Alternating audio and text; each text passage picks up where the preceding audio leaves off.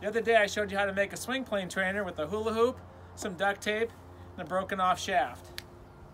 So after you're done with that, Amazon $50 for 12 of them. Now you got a big roll of duct tape and you got a whole bunch of hula hoops. You go, Tom, what am I gonna do with the rest of these hula hoops? Well, I got an idea for you. Take your fiberglass aiming sticks, you need four of them, tape them together, and if you look here.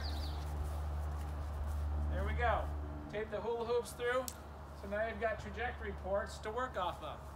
Everybody knows if you want to have a really good short game, you need to control your trajectory. So I got red low, which is hot. I got blue high, like the sky. So you're back in here, you can goof around, play it back, drive it through low. Maybe you can try medium. Then of course you got the blue, which is high. Was in the middle again. See if we can get it into the high one.